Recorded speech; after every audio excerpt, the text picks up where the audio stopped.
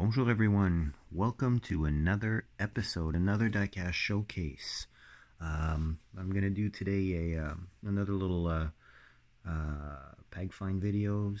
Um, found a few few things in the last uh, the last couple weeks, basically. So uh, thought I'd uh, show those uh, to you today. So uh, basically, gonna have a little mix of uh, mostly Hot Wheels with a touch of match, uh, Matchbox uh, thrown in.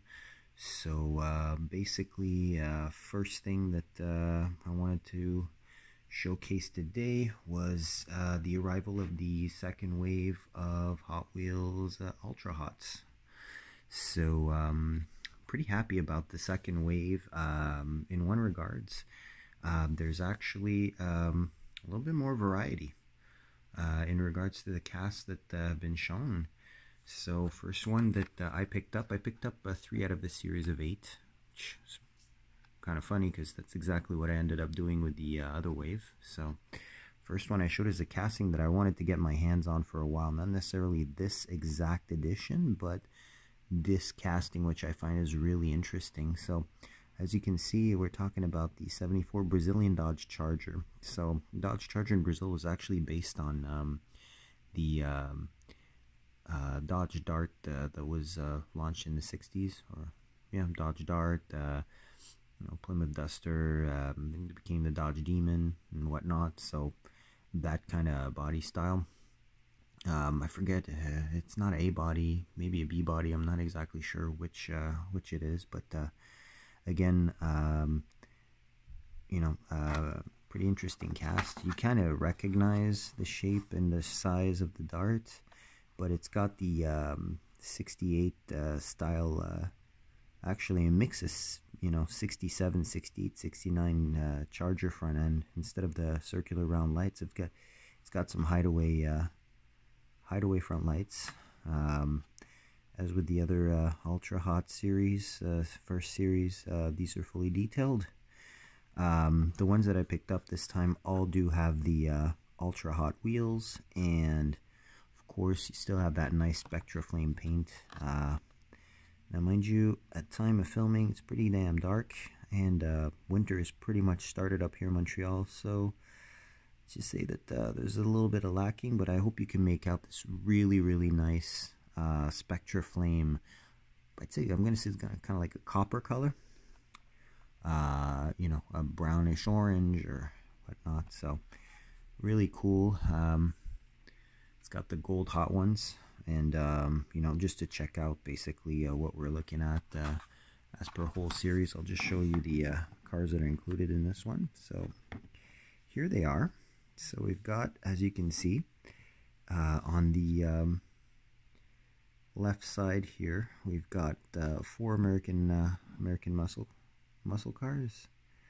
So um, when I found these, the whole series was on here, but um, literally hours later, probably most definitely a couple days later, which is when I revisited, uh, we were talking about uh, maybe three staying on the pegs. Seemingly, at least where I bought these, the one that is the peg warmer would be surprisingly the El Camino, which is a really cool cast. I uh, decided not to pick it up because I've got a variety of different variations already of this one. Uh, other one that uh, was left on the pegs would be uh, there was one Shelby GT500, a couple uh, El Caminos, and one GT500. All the other ones were gone. Um, I did briefly think about picking up the, the Camino as well as the Firebird, but uh, decided to stick with the essentials. So on the right side, that's where it gets interesting. As you can see, we've got two JDM cars that are actually not so retro, at least in my sense. And we've got two Brazilian cars, the Charger that we just checked out, as well as the Volkswagen SP1. It's a really nice Spectra Flame Green. Honestly, it's an interesting car. It's a good looking car, but it's not a car that I collect every variation of. I have one mainline variation the uh, red with the uh, light blue and white stripe, and that's the only one that I'm going to be keeping in the collection. Didn't really feel like paying, uh, well, five bucks basically, which uh, they come up uh, to up here in Canada. So, um, yeah, basically, um, yeah, we'll check out the other two that I picked up, which you can probably guess which ones they are. Um, and a quick note as well, I noticed that these cards are really the same same size as a mainline card.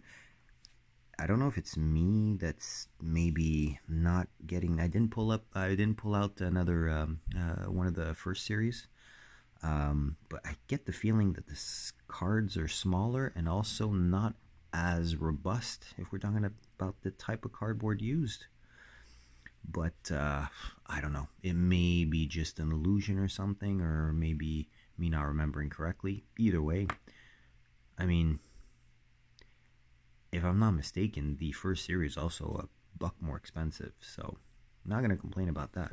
So I don't mind if they reduce uh, packaging and uh, also reduce the price.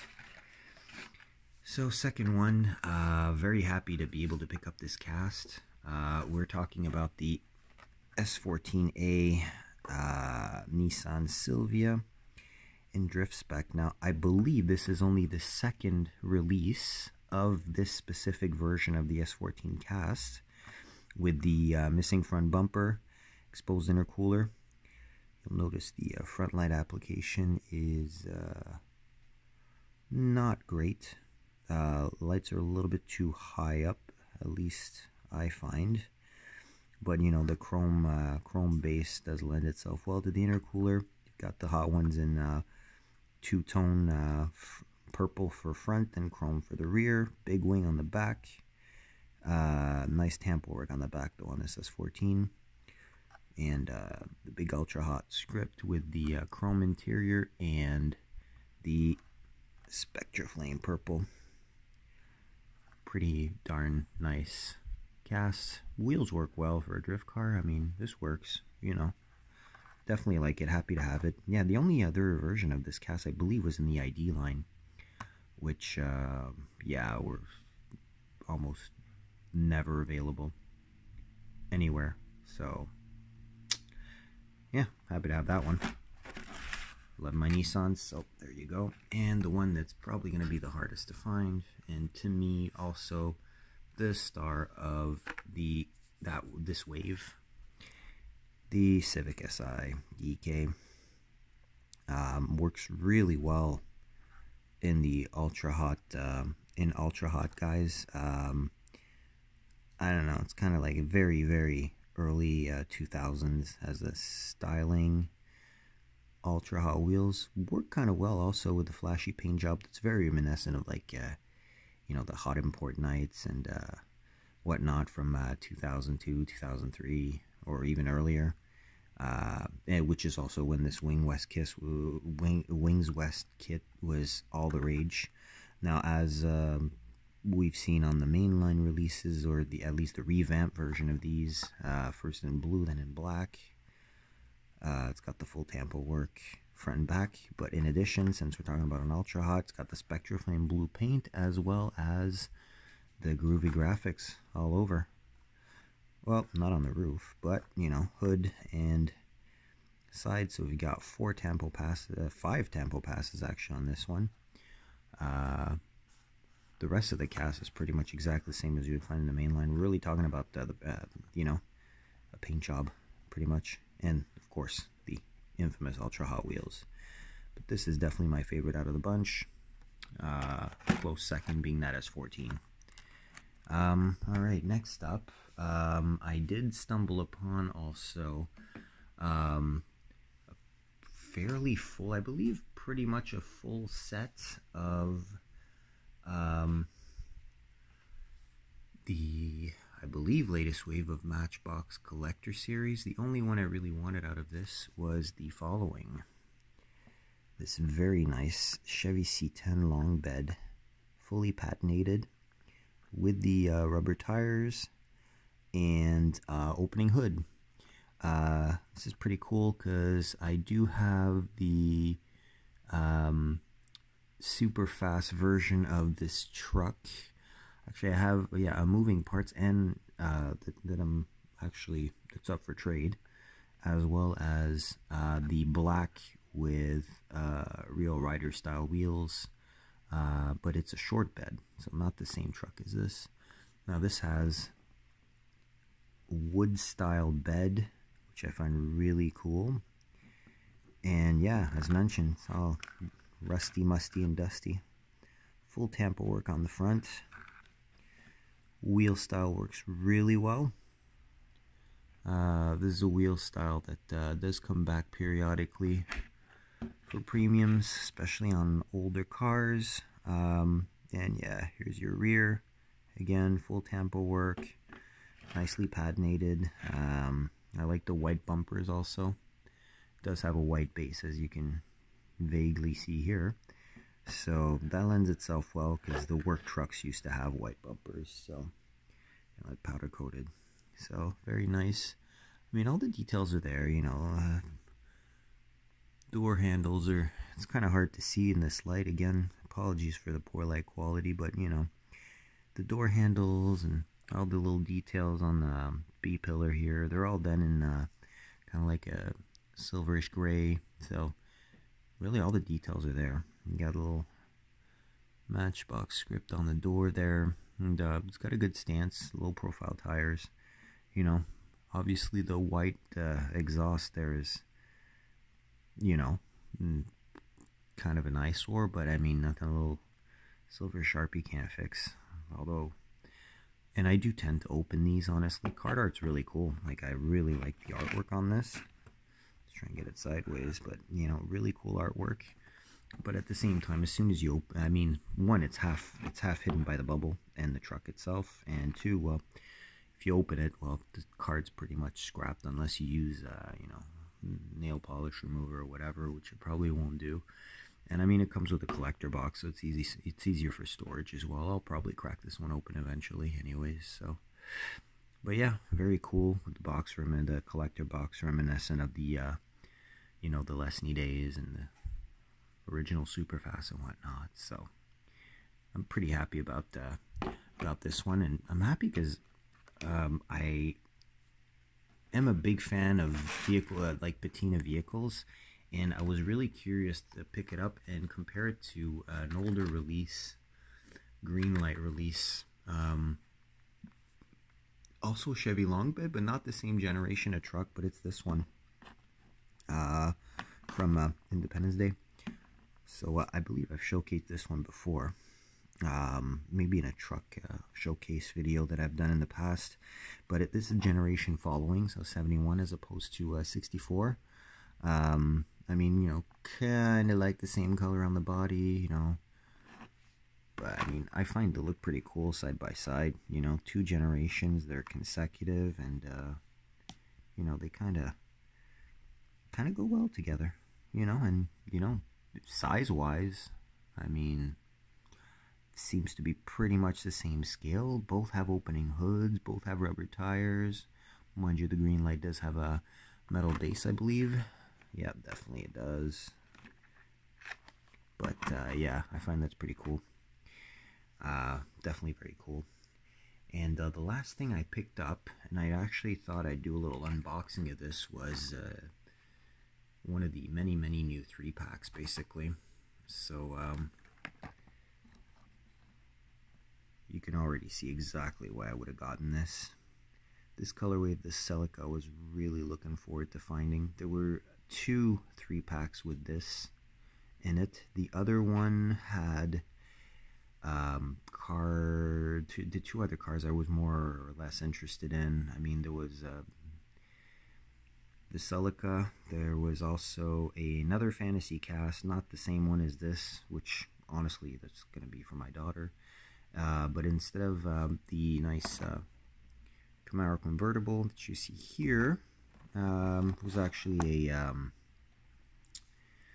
uh, the Broken Promises mod rod. And mod rod is definitely a casting I like, uh, that I have a favorite variation of, but that I do not collect uh, actively. So thought I'd pull out uh, my uh, trusty uh, uh, multi-pack opener. Same tool that uh, Tyrone from Building the Ultimate Ma Matchbox Collection uses. The infamous butter knife. I'll just get this bad boy open. We'll check this Celica cast. And at the same time, why not the Camaro? We'll check that out. This is definitely the best way to open a three pack. Nice clean opening on the side. Pull these out. And uh, start with the bad. You know, this kind of looks like a. What's the name of this one again? This is the maximum leeway. Yeah, you know, it's kind of like a dirt uh, dirt racer.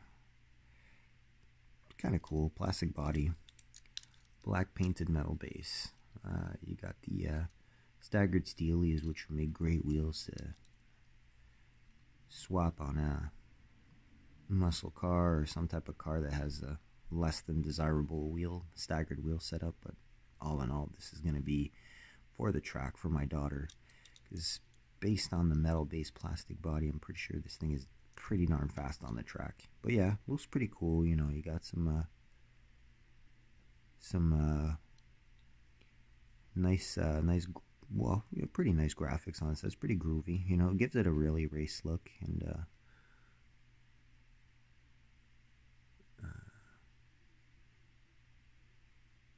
yeah, well, it's not bad. It's not a bad cast. It's just not not something that really interests me. So, yeah, this is going to be for my daughter's uh, what's becoming to be a massive Hot Wheels stash.